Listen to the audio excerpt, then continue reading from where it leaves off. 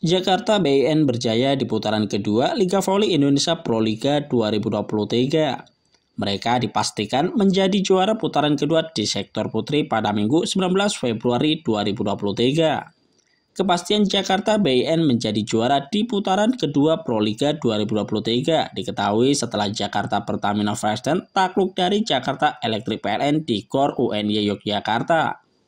Kekalannya di Almi Jakarta Pertamina Version membuat Jakarta BN tetap menduduki puncak klasmen putaran kedua Pro Liga 2023. Jakarta BN memimpin klasmen dengan raihan 11 poin dari 5 pertandingan. Mereka mencatatkan 4 kemenangan dan 1 kekalahan.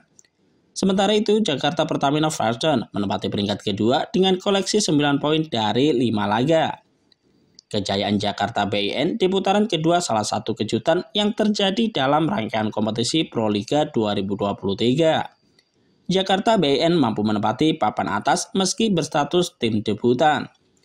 Pemain Jakarta BN Aulia Suci Nurfadila semakin optimistis timnya bisa meraih gelar juara Pro Liga 2023.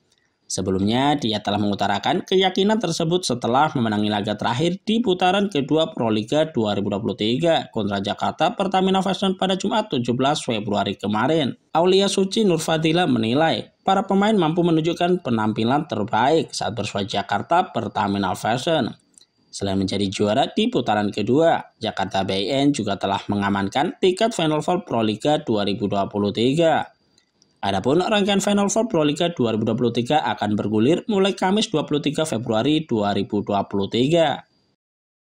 Ikuti terus update terbaru dari sosial media Tribun Jateng.